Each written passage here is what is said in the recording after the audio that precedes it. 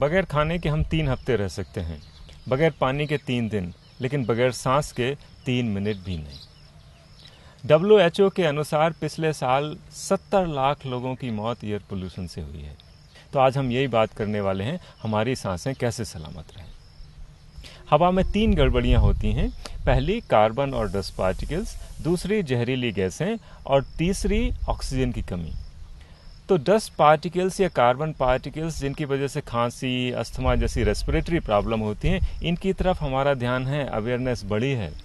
लेकिन ऑक्सीजन की कमी, जो कि एक्चुअल में शहरों की ज़्यादा बड़ी, ज़्यादा गंभीर समस्या हो गई है, इसकी तरफ़ अभी हमारा ध्यान नहीं है।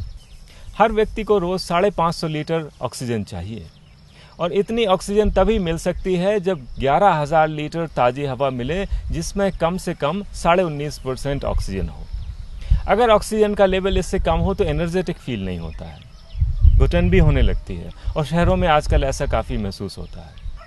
अगर ऑक्सीजन का लेवल ज़्यादा गिर जाए तो शरीर के कई हिस्से काम करना बंद कर देते हैं। 10 परसेंट पर दिमाग काम करना बंद कर देता है और 6 परसेंट पर तो मौत हो जाती है। ऐसे कई केसेस हुए हैं जब लोग बाग कार के अंदर बच्चे को सोता हुआ छोड़ गए। एसी ऑन करके और जब लौट के आए तो बच्चा मरा हुआ मिला। एक और चीज़ जो आजकल काफ़ी बढ़ रही है, वो ये है कि जिनके घरों में एसी है, उनके यहाँ कैंसर बढ़ रहा है और इसका कारण भी ऑक्सीजन की कमी है। क्योंकि जब एसी लग जाता है घर में तो खिड़कियाँ बहुत बहुत कम खुलती हैं और खिड़कियाँ खुलती नहीं तो ताज़ी हवा आती नहीं है और ऑक्सीजन का लेवल कम हो जाता है। कैंसर सेल और नॉर्मल सेल के मेटाबॉलिज्म में ये फ़र्क होता है कि कैंसर सेल्स को ऑक्सीजन नहीं चाहिए। तो जब कभी भी लो ऑक्सीजन का एनवायरनमेंट बनता है कैंसर सेल्स प्रोलिफरेट करने लगती हैं।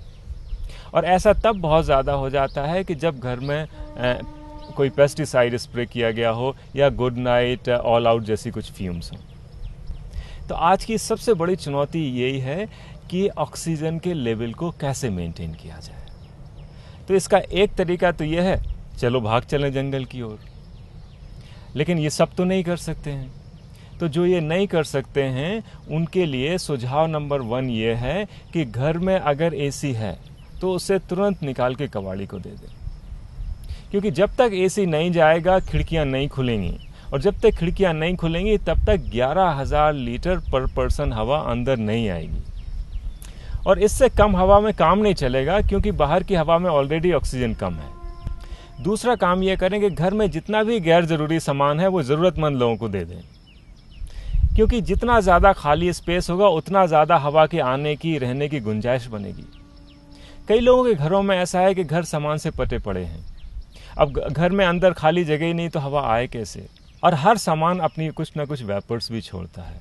तो अगर सामान कम होगा तो हम उनकी वेपर्स से भी बचेंगे। और तीसरा काम जो हम सबको करना चाहिए वो ये है कि हमें खुद अपना एयर पोल्यूशन कम करना चाहिए। कार की जगह हम पब्लिक ट्रांसपोर्ट से जा सकते हैं, क्योंकि एक लीटर डीजल या पेट्रोल दस हज़ार लीटर हवा खाता है। और शहरों में आजकल ऐसे हालात बन गए हैं कि जितनी हवा हम लोग नहीं खा रहे हैं, उससे ज़्यादा कारें खा रही हैं। तो हमें अपना कार्बन फुटप्रिंट कम करना होगा। हमें ख़रीदारी भी कम करनी चाहिए।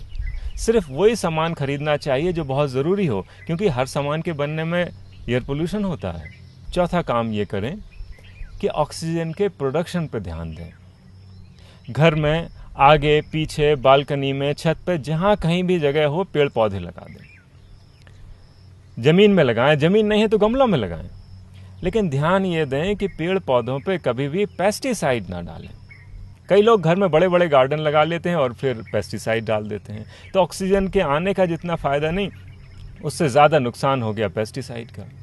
और इस सब के बावजूद भी जंगल की सैर को ज़रूर जाएँ। क्योंकि आफ्टरऑल असली हवा तो वही है।